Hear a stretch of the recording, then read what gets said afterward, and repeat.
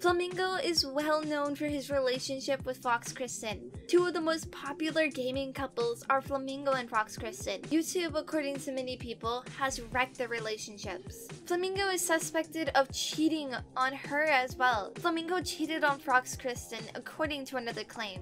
Why would they keep wreaking havoc on each other if it appears that they're harming each other? Is it just to please their rapid following? It's utterly ridiculous.